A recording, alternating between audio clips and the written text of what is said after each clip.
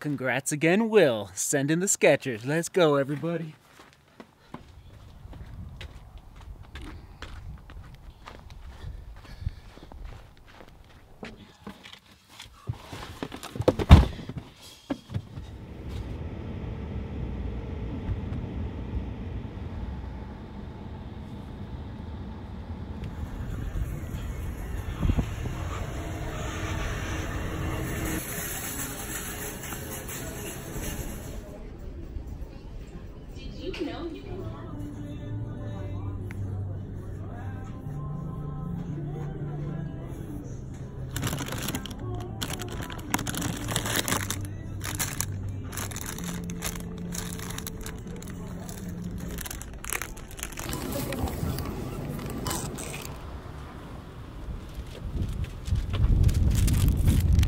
Baby wipes. Got the baby wipes.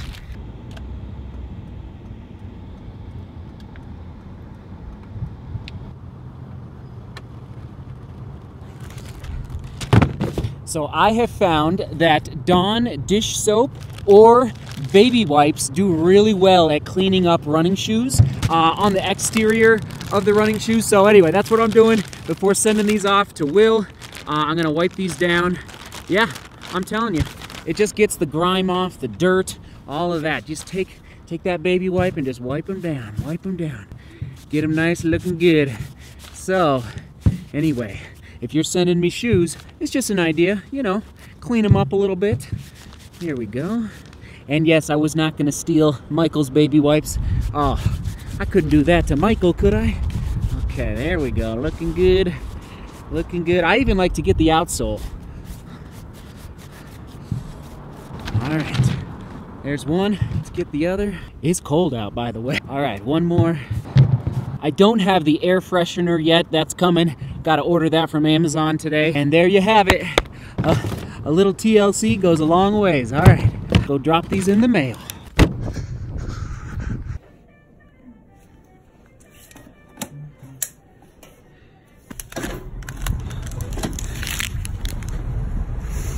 And away they go. All right, Will, let me know when they arrive. It's just so awesome. So awesome to, uh, listen, like, just get the shoes to a new set of feet. More miles, baby. All right, one more errand, and then back to the studio.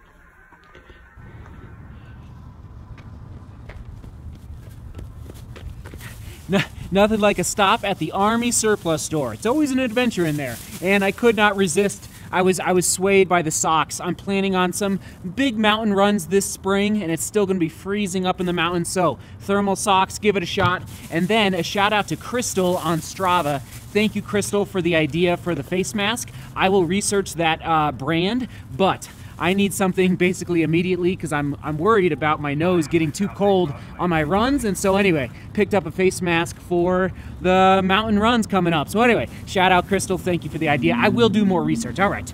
See you at the studio. And here we are. Okay, why? The question here for today that I am uh, contemplating, thinking about for all of you on my 20 mile run today. Why build your aerobic engine first. I'm going to try and dive into this topic as best as possible, keeping in mind I studied history in college. I didn't study science, but I will do my best. And yes, today's 20 mile run, I did not film. You saw a clip there at the end of the run, just filmed it with my phone. Basically, as I continue to increase the volume and the intensity of the of the workouts, I will not always be able to carry the vest and the GoPro. So anyway, that was one of those days I just put my head down and ran pretty solid, pretty solid. In fact, I want to go go through a few of the splits with all of you. It was 20 miles uh, which is okay 20 miles 32 kilometers uh, 650 per mile so 415 per kilometer. And the goal was to just attempt to be as steady as possible. Steady eddie today okay? And the splits okay? Started off with a 721 then a 659 and then a 655 and then jumping ahead to mile 10 through like 16 here you go. 644 644 644, 643, 643, 648, 645, and then the last one, a 651. And so, how did I feel at the end of the 20 miles? I felt solid except the last two miles. Uh, mile 18, and we're going to talk more about this in a minute, but at mile 18, yeah, the legs were like, okay, this is starting to hurt a little bit. And sure enough, uh, oh, this is a beautiful connection. Sure enough, it was almost to the minute at the two hour mark. It was unbelievable. And it was cold today. It was about 20 degrees Fahrenheit, so it was chilly. And I think that does impact uh, our muscles to a certain extent, our breathing, even, you know, sucking in cold air for over two hours. And I always like to say that you got to listen to your coach. If you have a coach, if you're following a training program, you got to listen and you've got to believe. Listen and believe when you have a coach that is guiding your training. Because if you don't believe in the workouts, if you don't believe in what this person is telling you to do to get faster, there's a good chance you're not going to get faster. You're you're not going to do great workouts. You're not going to follow the training plan and therefore you probably won't reach your full potential on race day. So I always want to mention that before diving into a topic. And listen, this is what I do. What I'm about to tell you is what I do. It's it's not based on me taking biology classes. It's me based on life and training for the last yeah, 20 years of my life since middle school, through high school, through college, and then post college as I dove into the ultra running world and now as I dive into the marathoning world. So, I, and this is not an earth shattering statement if you've been watching for a while, but I firmly, firmly believe that focusing on aerobic development, especially early in a training block. So, what is a training block? Leading up to a peak race, you've got usually, I, I, like to say, three to four months of training leading into a peak race where you're just. You're, you're training, you're, you're putting in the miles. And so for my training, I like to focus on intervals and speed work the last four weeks maybe six weeks at the most leading up to a peak race. And why is that? Well, our bodies can only give us so much. Like we can take them to the brink, but if we go through the brink, there's a really good chance we're going to overtrain. We're going to burn out, and it actually becomes detrimental to our performance on race day if we continue to train at, a, at too high a level. And scientifically, this is what happens. When we go into oxygen debt, uh, a lot of times that can happen during interval training. That drops the pH levels of our blood. And when we drop our pH levels too low, too often in training, uh, basically what can happen is it, it, can impact our ability to recover, uh, our ability for our bodies to absorb the correct nutrients that we need to recover, and it can even impact our sleep. And those three things, combined with continued high intensity interval workouts, really is walking the line of overtraining. And I know some of this, I've experienced it and I've read it. I've experienced it, especially in the ultra running world. Uh, me personally, but even just watching other ultra runners who are pushing the envelope a little too much with high volume and high interval training. And those two things, like you, it's it's walking the line of uh, disaster. Uh, there's no other ways. There's no other way to say it. Of disaster in how your body can recover to get ready. Guess what? For the next day and the next day. And so pH levels and plunging them down. And that's what happens when you do a hard interval. You plunge your pH level down, and then it slowly comes back up, and then you plunge it down again. And when we do that over and over in our training, we just got to be careful. Okay. Therefore, the other option, and this is how I train, is focus the first two, even three months of training leading up to a peak race on aerobic development, meaning where we're not going into oxygen debt. We're, we're approaching oxygen debt, but we're not pushing through. Does that make sense? And so by focusing on aerobic training, not anaerobic training, and that another way to phrase it, and you hear it in the running world, is long, slow distance or LSD runs, you know, kind of like your traditional long run.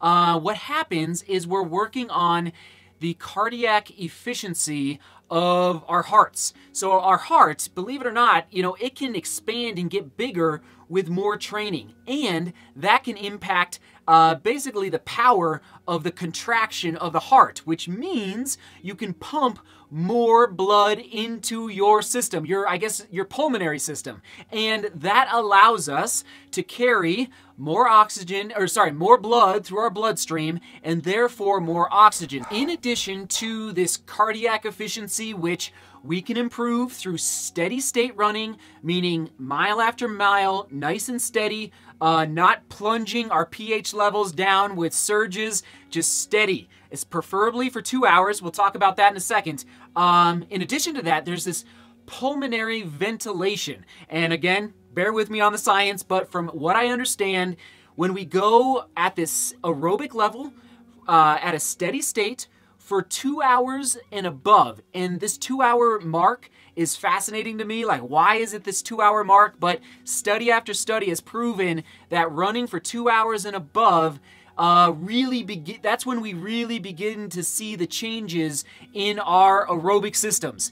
Uh, and so, on a scientific level, uh, there's capillary beds in our lungs that begin to develop at this two hour mark. And so the air from the outside is breathed into our lungs, uh, into these newly developed capillary beds, and then into our heart, into the bloodstream, and delivered to our muscles. And that's what we want as runners, right? We want as much as much oxygen as possible being delivered to our muscles as possible. Ah! And today's run was a perfect case in point almost exactly at the 18 mile mark, the two hour mark, I was like, oh, this is kind of hurting a little bit. And it, it's, and then I focused, focused on my form. I definitely was like, okay, I would like to stop now. This is starting to hurt a little bit.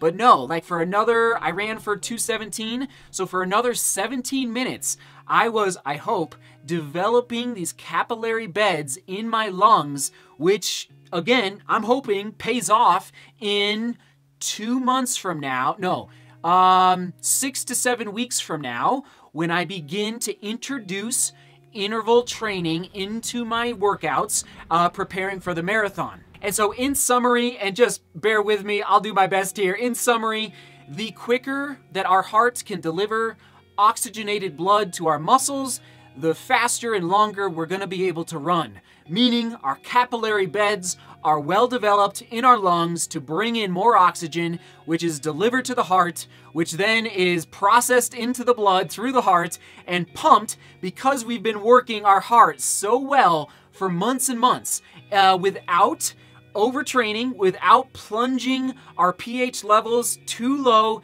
too often with high intensity interval training. Uh, then when, then when, this is when it's exciting, when we decide to add interval training into the workouts, that is when more oxygen will be present to our muscles. And guess what? We're gonna be able to run faster. And guess what? We're gonna be able to have faster turnover. Voila! There it is. That's what we want, right? That's what we want as runners. We want to be able to have fast turnover uh, without going into crazy oxygen debt. I always say that at on race day, like race day should not be um, a, a, a death battle. Like you should be fit enough that you feel so confident in your training that you just show up at that starting line and you say, bring it on. And literally like you're in the race and it hurts, but you're so confident in the in in approaching that threshold of pain and oxygen debt that you know you can sustain it for the given distance that you're racing on that particular day. Oh my goodness. I hope that made sense. Keyword engine. Keyword engine. And listen, I guess I should have said this at the beginning of that last monologue. That is why you should develop and focus on developing your aerobic system first. in your training block. I probably should have talked about this in December, shouldn't I?